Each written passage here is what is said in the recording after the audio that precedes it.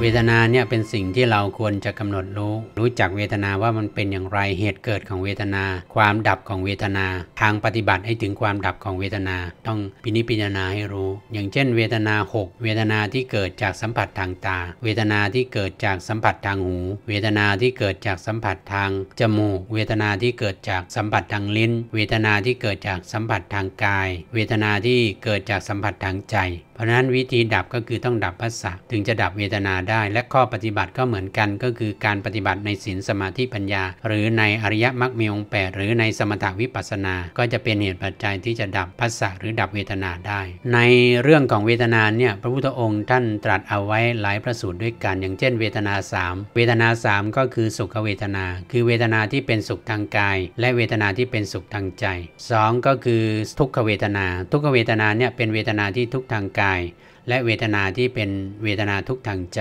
และ 3 ก็คืออทุกขมสุขเวทนา คือเวทนาที่ไม่ใช่สุข ไม่ใช่ทุกข์ก็จะมีเวทนาที่ไม่ใช่สุข ไม่ใช่ทุกข์ทางกาย และเวทนาที่ไม่ใช่สุข ไม่ใช่ทุกข์ทางใจ ก็จะเป็นเวทนา 3 ที่เป็นหัวข้อใหญ่ ๆ หรือไม่ก็ที่พระพุทธองค์ท่านตรัสก็คือเวทนา 5 เวทนา 5 ก็เป็นความรู้ที่เสวยสุขทุกข์หรือเสวยกลางๆ ไม่สุขไม่ทุกข์ก็มีทั้งทางกาย มีทั้งทางใจที่เรามีกันอยู่ตลอด ถ้าเราพินิพิจารณาดีๆ มันก็จะเป็นวิปัสนาเป็นปัญญา อัตภาพของเราที่การที่เราได้ความเป็นมนุษย์เนี่ยมันเป็นเพียงสมมุติ มันเป็นสมมุติบัญญัติ ขันห้าเนี่ยมันไม่ใช่อัตตาตัวตนที่แท้จริง ขันห้าเนี่ยมันสมมุติบัญญัติขึ้นมา เพื่อให้เราวิปัสนาส่วนที่เป็นกันหน้าเนี่ยได้อย่างแยบกายให้เห็นตามความเป็นจริง เพราะฉะนั้นพระพุทธองค์จึงตรัสสอนให้เรารู้จักจำแนกอัตภาพของเราเองตามสมมุติเนี่ยว่ามีอัตตาตัวตนประกอบไปด้วยรูปเวทนาสัญญาสังขารและวิญญาณ อัตภาพหรือความเป็นตัวตนของเราเนี่ยมันเป็นแค่ธาตุตามธรรมชาติที่อาศัยกันและกันเกิดขึ้น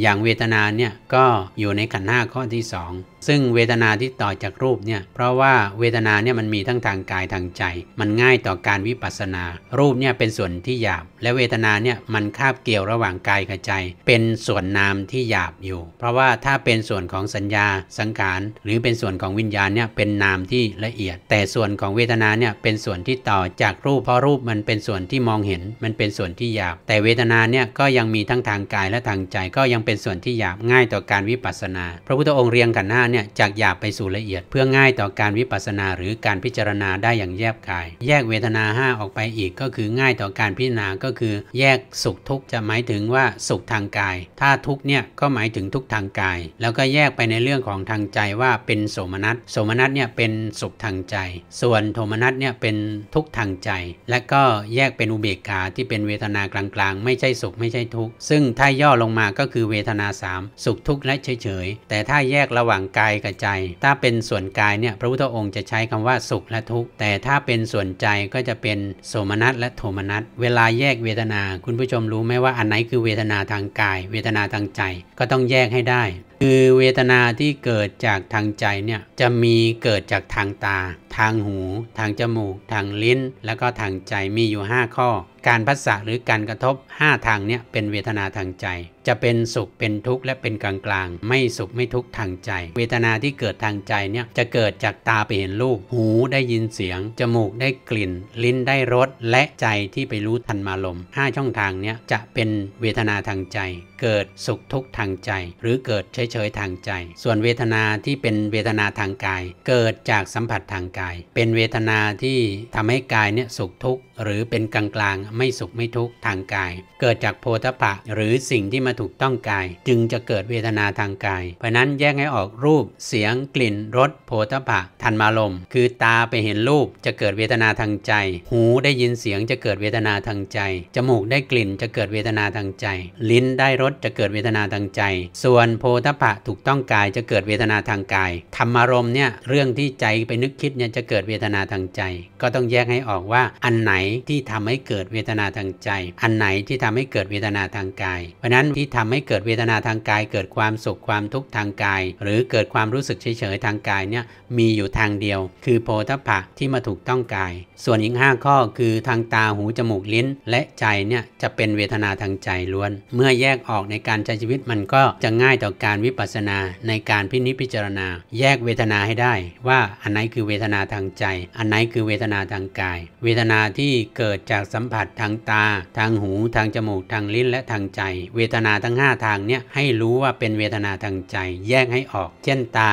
กับรูปมาประจวบกัน ก็เกิดวิญญาณ เกิดเป็นความรู้รูปเห็นรูป ทั้ง3เนี่ยมาประจวบกันก็คือ ตารูปวิญญาณก็จะทำให้เกิดภาษาเป็นเหตุปัจจัยทำให้เกิดเวทนาทางใจขึ้นมา อย่างเช่น ตาเนี่ยไปเห็นรูป รูปนั้นเป็นรูปที่น่ารักน่าใคร่เป็นที่ตั้งของความสุข ก็จะทำให้เกิดสุขเวทนาคือเป็นสุขเวทนาเป็นความสุขทางใจ แต่ถ้ารูปที่เห็นนั้นมันเป็นที่ตั้งของความทุกข์ เป็นรูปที่ไม่น่าปรารถนาไม่น่าพอใจ ก็จะทำให้เกิดทุกขเวทนา ก็จะเกิดความทุกข์ทางใจเกิดขึ้น หรือรูปที่เห็นนั้นไม่พอที่จะทำให้เกิดความสุขความทุกข์ก็จะเป็นกลางๆ ก็จะทำให้เกิดอทุกขมสุขเวทนา คือเป็นอุเบกขา ก็จะเฉยๆ เพราะนั้นภาษาหรือการสัมผัสทางตาหูจมูกลิ้น และก็ใจเนี่ยทั้ง 5 ทางเนี่ยให้กำหนดรู้ให้พิจารณาให้รู้ว่าเป็นเวทนานาทางใจอย่างเดียว ไม่ใช่เวทนาทางกายนะเป็นเวทนาทางใจ เพราะนั้นในการใช้ชีวิตก็ต้องแยกให้ออกว่าเวทนาทางใจนั้นเกิดจากทางไหนบ้างส่วนเวทนาทางกายก็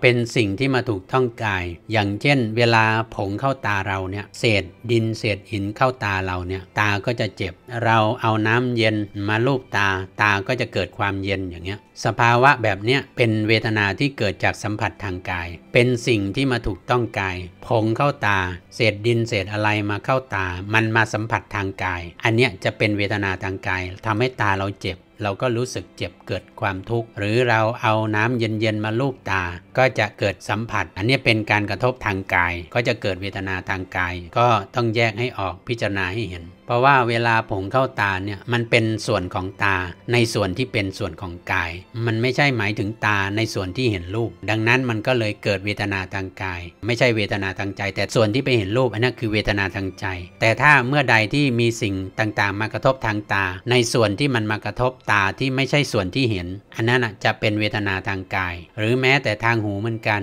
มีอะไรที่มาทิ่มตำที่หูทำให้เกิดความเจ็บที่หู อันเนี้ยจะเป็นเวทนาที่เป็นทางกาย ไม่ใช่เวทนาที่เป็นทางใจ แต่ว่าถ้าเกิดได้ยินเสียงเพราะๆอย่างเงี้ยอันเนี้ยจะเป็นเวทนาทางใจเกิดความชอบ เกิดความไม่ถูกใจ แต่ถ้าเป็นเสียงดัง ๆ มากระทบหูทำให้แสบแก้วหู ก็เป็นเวทนาทางกาย ต้องแยกให้ออกว่าอันไหนคือเวทนาทางกาย เวทนาทางใจ เพราะว่าเวทนาทางหูเนี่ยจะต้องเป็นประสาทที่รับเสียง และทำให้เกิดความชอบหรือความไม่ชอบ เกิดความสุขความทุกข์อันนี้เป็นเวทนาทางใจ แต่ถ้าทำให้เกิดความสุขความทุกข์แสบปวดร้อน คือแสบแก้วหูแก้วหูทะลุอย่างเงี้ยเนี่ยเป็นกายโพธพะที่มากระทบกายอย่างแรง ก็ทำให้เกิดเวทนาทางกายเกิดขึ้น เพราะนั้นเวทนาที่เกิดจากสัมผัสทางกายเนี่ยมีมาก สุขทางกายเกิดจากดินฟ้าอากาศ บรรยากาศดีๆ ลมพัดเย็นๆ มาถูกต้องกายเห็นไหมมันก็จะเกิดสุขเวทนาทางกาย เกิดความสัมผัสทางกายทำให้กายเย็นสบาย หรืออาจจะมีการกระทบจากดินฟ้าอากาศที่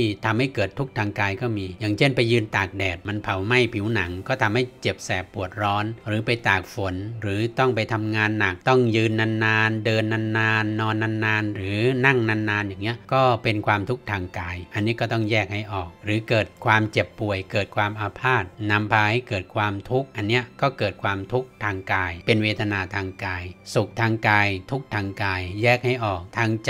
ก็เป็นส่วนที่ไปรับรู้ผ่านตาทางหูดมกลิ่น รู้สึกชอบไม่ชอบ พวกนี้เป็นเวทนาทางใจ เพราะนั้นทุกขเวทนาที่เป็นไปทางกายก็มีมาก สุขทางกายก็มีมากเหมือนกัน ที่เป็นกลางๆก็พอมีอยู่บ้างในแต่ละวัน ไม่ได้ทำให้เกิดสุขเกิดทุกข์อะไรเงี้ยส่วนของเวทนาทางใจเนี่ยเช่นเวลาไปพัสสะสัมผัสทางตาหูจมูกลิ้นทางใจอย่างเนี้ยสัมผัสกาลมที่เป็นที่ตั้งของความสุข ก็ทำให้เกิดสุขเวทนาทางใจขึ้นมา ถ้าไปกระทบกาลมที่เป็นที่ตั้งของความทุกข์ก็ทำให้เกิดทุกขเวทนา ก็เกิดความทุกข์ทางใจ หรืออาจจะมีใจที่วางเฉยได้ มีอุเบกขา ก็อาจจะไม่สุขไม่ทุกข์ก็เป็นเวทนาเหมือนกัน อย่างเช่นตากับรูปเนี่ยมาประจวบกัน หูกับเสียงมาประจวบกัน จมูกกับลิ้นมาประจวบกัน ลิ้นกับรสมาประจวบกัน หรือใจกับธรรมารมเนี่ยมาประจวบกัน ก็ทำให้เกิดได้เห็นได้ยินได้ดมได้ลิ้มได้รู้แจ้ง ในแต่ละวันเนี่ยเยอะแยะมากมายที่จะทำให้เกิดความสุข หรือเกิดความทุกข์หรือเกิดเฉยๆแต่ว่าไอไอ้ความสุขความทุกข์เนี่ยบางที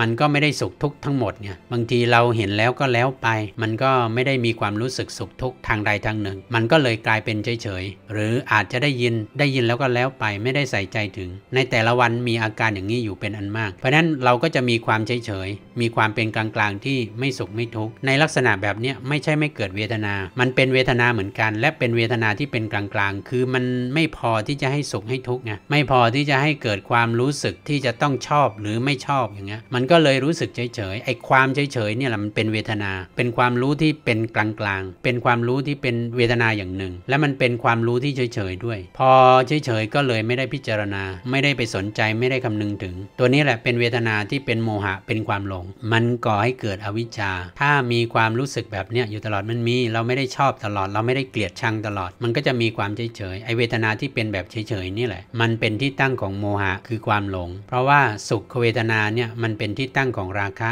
ความกำหนัดติดใจยินดี ไอ้ทุกขเวทนาเนี่ยเป็นที่ตั้งของโทสะคือความโกรธแค้นขัดเคือง ส่วนเวทนาที่เป็นกลางๆเนี่ยมันเป็นที่ตั้งของโมหะ คือความหลง เพราะเฉยๆเฉยๆด้วยความไม่รู้ คือไม่ได้กำหนดพิจารณารู้ว่าไอ้ความเฉยๆเนี่ยมันก็เป็นเวทนา มันเป็นอทุกขมสุขเวทนา มันเป็นเวทนาอย่างหนึ่ง เมื่อเป็นเวทนาที่ไม่ได้กำหนดรู้ มันก็เลยเป็นเวทนาที่ไม่รู้ คือไม่รู้จัก ไม่รู้จักว่าไอ้ความเฉยๆเนี่ยคือเวทนา เพราะนั้นเมื่อไม่รู้มันก็เลยเกิดโมหะ เกิดความหลง หลงตั้งแต่ต้นคือหลงตั้งแต่ความไม่รู้จักเวทนาว่าไอ้ความเฉยๆเนี่ยมันเป็นเวทนา เพราะนั้นเมื่อหลงไม่รู้ไม่รู้จักมันว่าไอ้ความเฉยๆเนี่ยเป็นเวทนา ก็เลยเป็นโมหะ หรือเป็นความหลงเป็นอวิชชาอยู่ ความละเอียดจากเวทนาทางกายทางใจต้องแยกให้ออก และไอ้ความเฉยๆเนี่ยก็เป็นเวทนาอย่างหนึ่ง แล้วก็เป็นความไม่รู้ตั้งแต่ต้นว่ามันคือเวทนา มันก็เลยเป็นโมหะความหลงอยู่ตลอด เพราะนั้นเวลาปฏิบัติในสติปัฏฐานนะพระพุทธองค์จึงให้ทำสติกำหนดเป็นเวทนานุปัสสนาสติปัฏฐาน เพื่อที่จะ